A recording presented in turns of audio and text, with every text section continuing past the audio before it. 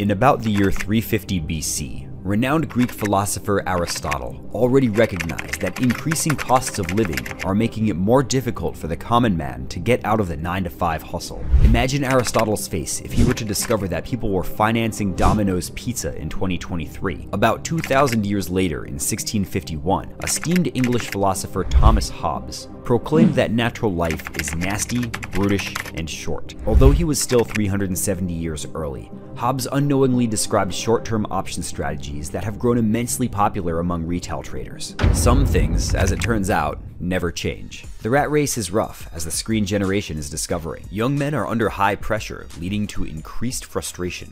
Sometimes, their frustrations took a dark turn, with men rejecting society and embracing hatred. Other times, these guys vented their frustrations in the gym and got shredded, but generally lacked direction. But in ideal scenarios, young men rid themselves of their fears, shot their shots, and built an empire of their own design. Among them is Nanobytes, a textbook example of Sigma male grindset and immense courage. A man whose shape and form would make Diogenes of Sinope proud. A man whose audacity with women was so fearless that it even crept into his trading style. It is my honor to share his story of success, and ultimately, well, you know how these stories end up.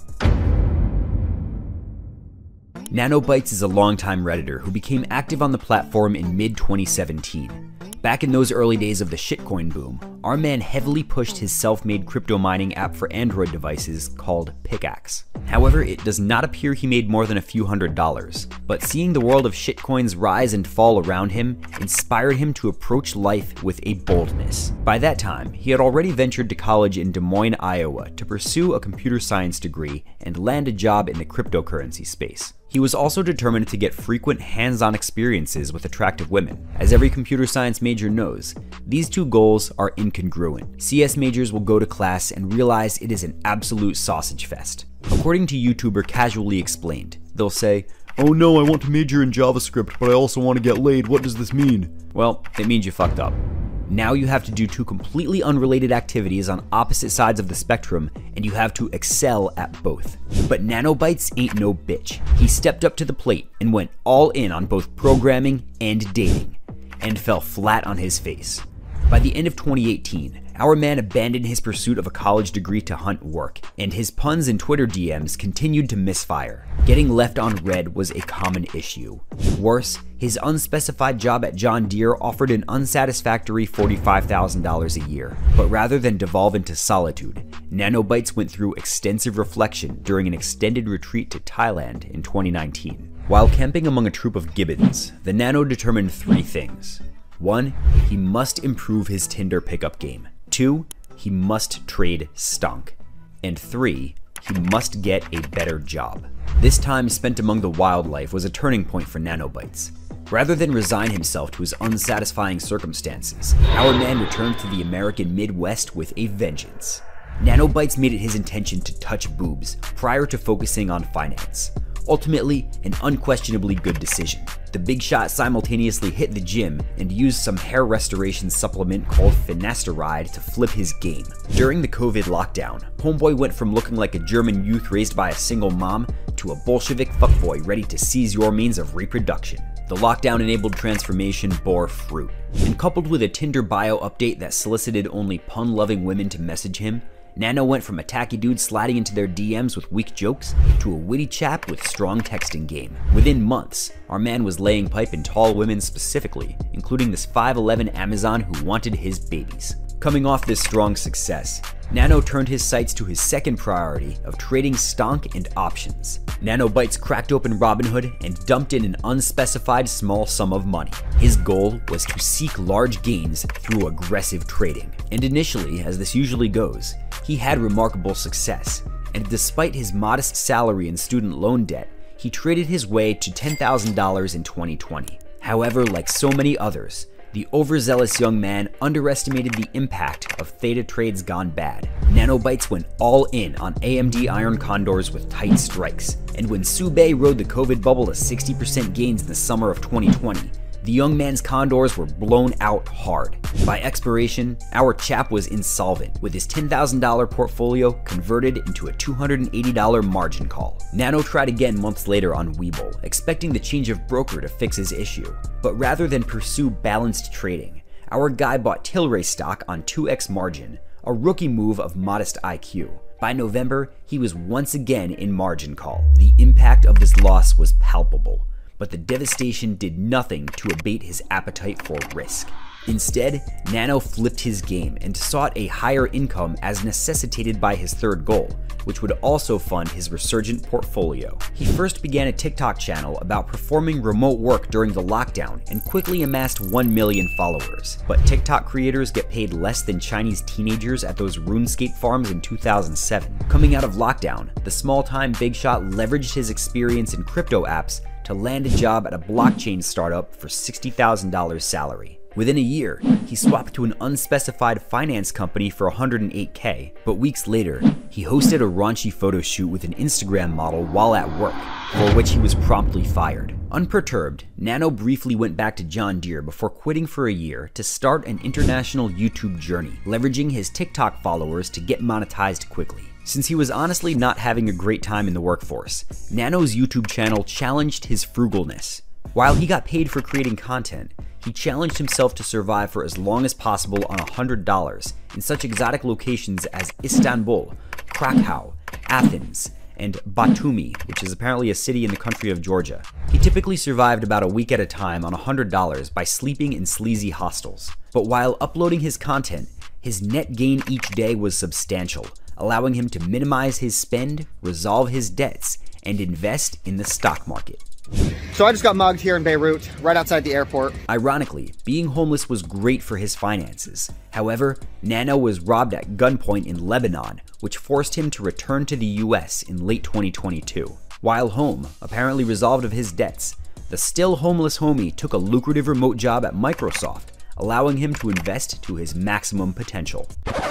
It was at this point in production that I consulted Nano on my script so far. For example, I initially thought that he was fired for taking sexy selfies at his office, not hosting a naughty photo shoot with a girl, an error which we quickly corrected. But Nano's real issue was that I was painting him as an unshakable Chad. He rejected this characterization in an extended 33 page Instagram story. Instead, he wants the world to know that he is as fragile as the rest of us. Not a chap who entered the hyperbolic time chamber and emerged with the courage to quit his day job and travel the world solo until he got robbed at gunpoint in Lebanon. Even then, not returning because he got robbed at gunpoint, but because he needed to replace his stolen passport. Nano, I have painted you as a man of incalculable swag. You reject this picture of yourself and want your faults recognized because you're human, and that's okay. What I'd like to do is say, I'm sorry, but I'm really not. You're a baller now, you gotta deal with that. But you want your faults recognized? Then let's recognize them. In January of 2023, Nano Chad was making $150,000 a year working remotely for Microsoft in the back of his sports car that suffers mechanical problems suspiciously often. Around 9 a.m., he cracked open his laptop, plugged it into his cigarette lighter, and got to work. After joining a department meeting that could have been an email, he flipped over to the stock market and began DD, he recognized that the dust began to settle around the 2022 bear market, and the time for a reversal was now. From his point of view, Tesla was one of the most unfairly beaten down stocks of the bear fiesta.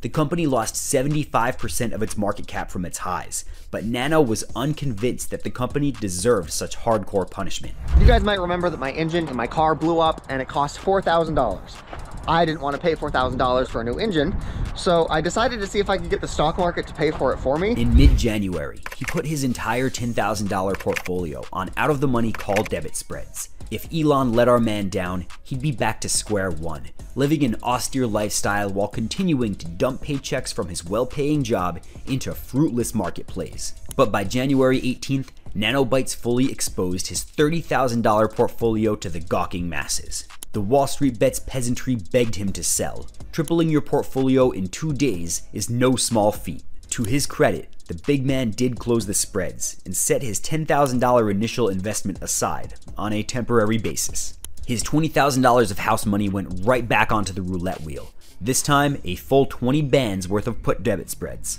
Nano believed that Tesla had adequately risen on Wednesday, and by Thursday was due for a breather. According to Webull, his trading strategy was safe.